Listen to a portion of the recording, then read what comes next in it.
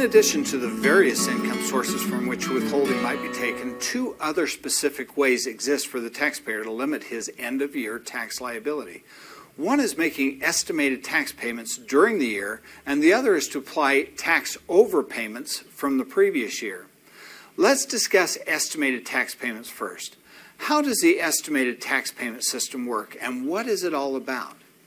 If a client owes more than $1,000 in taxes after subtracting withholdings and credits, then the taxpayer should make estimated payments. Estimated tax payments are made quarterly and are based on 25% of what the taxpayer's projected tax liability will be for the year.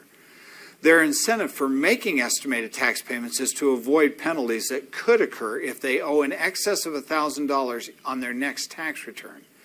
As tax preparers, we need to assist clients in determining their tax liability for the current and next year.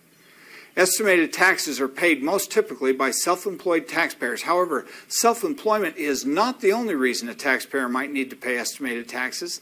They may also be required if a client receives other sources of income without withholding, such as interest, dividends, alimony, rental income, gains from the sale of assets, and prizes and awards.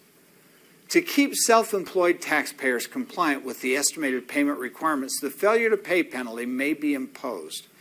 If a taxpayer does not pay enough, either through withholding or estimated payments, by the due date of each quarterly payment period, the underpayment penalty may be assessed, even if the taxpayer is due a refund when he files his tax return. If the taxpayer is subject to making estimated payments, the due dates are April 15th, June 15th, September 15th, and January 15th of the following year. The April 15th deadline is also the deadline for filing a tax return. If taxpayers have a balance due on the applicable tax return and are subject to estimated tax payments, then it is important that you, as a tax professional, educate them about the requirement to make two payments on the same date one for the tax return balance due, and the other for next year's first estimated tax payment. As a general rule, a taxpayer does not have to pay estimated taxes if he did not have a tax liability in the previous tax year. He was a U.S. citizen or resident for the entire year, and his prior tax year covered a full 12 month period. Let's discuss the second option for prepaying taxes.